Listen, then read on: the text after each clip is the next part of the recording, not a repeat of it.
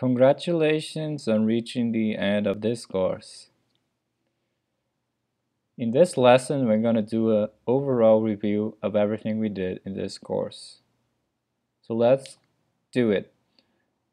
So, going back here to our introduction to Redux Saga with React, we had a following data structure with a list of fruits each object in this array has it represents a fruit.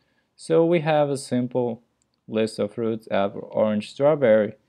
Uh, to get that data, we need to make a, an asynchronous HTTP request, right? So we created a simulated backend with this API.js with this find all function that after two seconds to simulate some delay, it either resolves with some fruit data that we hard-coded here, or it rejects with an error so we could test the error handling.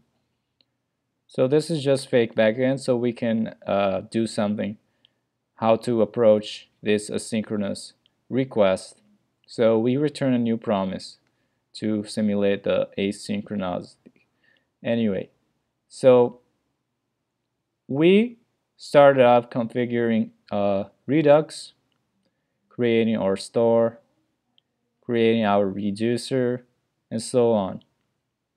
Then we went on to apply the middleware after doing some UI work to connect to the Redux store using the connect middleware, map state to props, map dispatch to props, all that kind of stuff.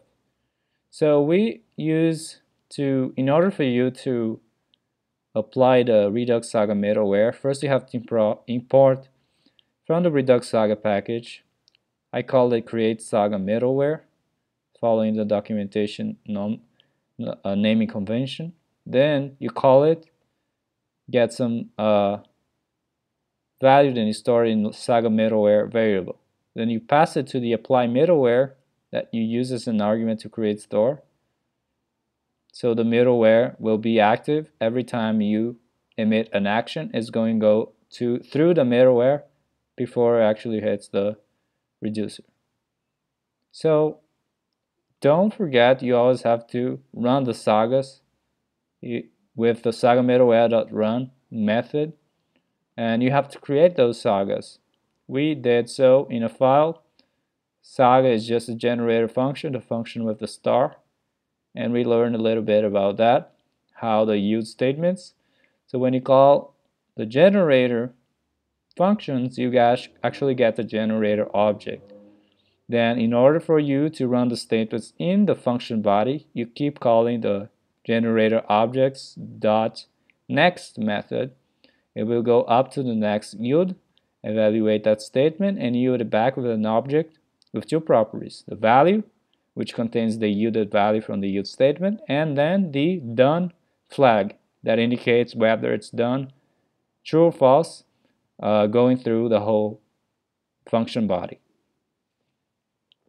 So what we did was in the app.js, we call uh, an action creator called fetch fruits in component did mount.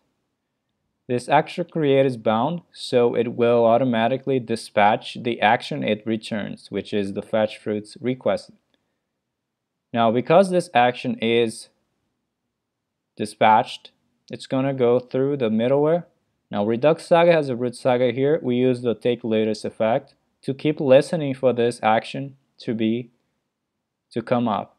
So keep listening until when it comes up, it executes the fetch fruits saga. So this root saga road here is like a watch saga, where it's watching for these action types.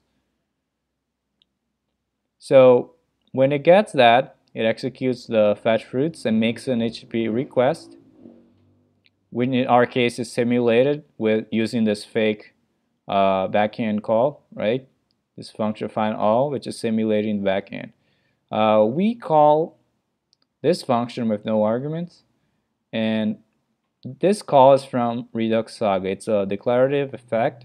It's actually an instruction for the middleware to perform some action, some uh, statement, some in this case calling a function. We don't call the function directly, we could do that, but it's uh, the Redux Saga way is always to give instructions to the middleware uh, instead of actually doing the work ourselves. So the middleware is going to do the actual work, call, work of calling the function. And then if this promise resolves with a value, that value is going to be placed in the variable here, fruits, and then we finally emit the fetch fruits succeeded action whose payload is the actual data with the fruits. If there's any uh, problem with this call, which should, uh, for example, it rejects, the, this promise rejects with an error, then an error is going to be thrown in this block. Since we use a try catch block, that would cause the execution to shift to the catch block, which in turn it puts or sends an instruction to dispatch an action of type fetch fruits failed with the error message as the payload. Now it's all nice, but no, nothing is done alone by Redux Saga. We still have to do our reducer work. So all that reducer handling of the action is done in the reducer file. We have an initial state with the actual data, some flag for some flag for loading, and some error message description. And then we handle the actions as follows. If uh, once we get the requested, we set error to null to clear, and then we indicate to the the application is loading fruits. Then, if it succeeded, it sets fruits with the actual payload obtained from the fake backend, and then sets loading back to false. In case there's an error, and then it sets the error with the payload and sets loading to false. So that's pretty much it for the reducer. And it keeps going like that. Uh, the app is going to reflect the changes because we use this .props.fruits for the fruit list component. So that's pretty much it. To conclude this course, if you would like to add more sagas, more action creators, for example, if you want to make an action creator to fetch only a single fruit by ID, all you have to do is you create an action creator fetch fruit here that takes the ID. Then you emit the action, for example, fetch fruit in a singular requested, and you do the same approach as before. You do that, then you make a reducer property for a single fruit, may add the error and loading flag for that fruit. And then once you have these guys, you can add the handling here, uh, the same fashion. Then for the saga, what you have to do is the following. You go to the saga, and then you add another, here in the watch saga, the root saga, you add another yield to take latest the, the new action, fed fruit requested. So this guy is, you can think of these guys as running in parallel, listening in parallel. So it's going to listen. If you get that, do that. And then if it gets that action, it's going to do some other thing. You're going to say fetch fruit. So, okay, so you just write it in the same fashion like this. Make a call to a new API. In this case would be find one. And then you put, and then you catch any errors and do failed. And that's pretty much it. Note, note that the call is going to be different because there's an argument, the actual ID of the uh, fruit.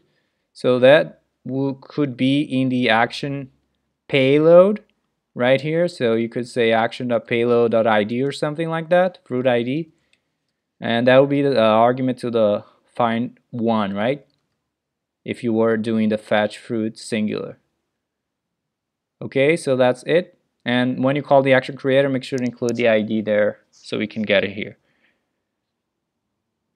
And that's the way you do it for another saga. And you can, add as many as you want here in this root, root saga watcher. And then you just define different uh, generator functions for each of those uh, each of those operations, okay? So that's all. Thank you so much for uh, watching this course and I hope you learned a lot and thank you and until the next time. Bye.